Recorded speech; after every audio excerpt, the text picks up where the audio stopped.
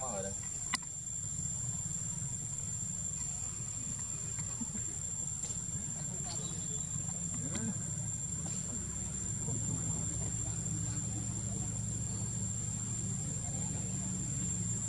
Hãy subscribe cho kênh Ghiền Mì Gõ Để không bỏ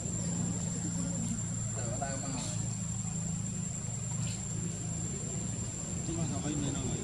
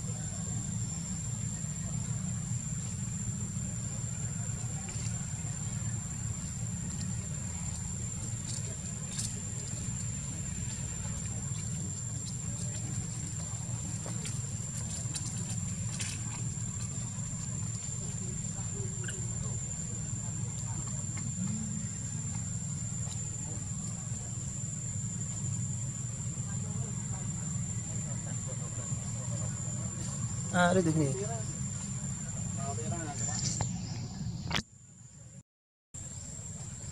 Subscribe đó kênh Ghiền mốt Gõ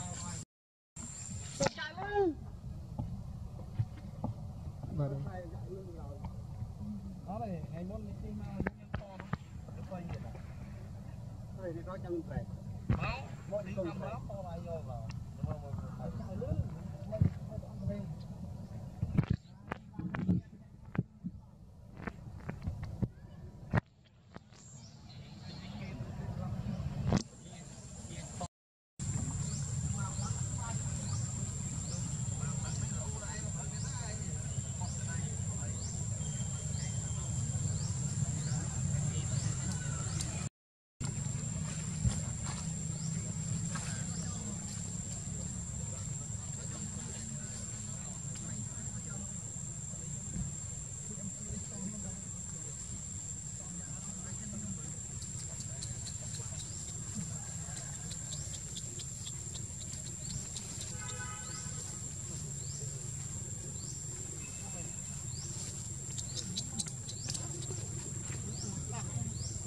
anh nhớ anh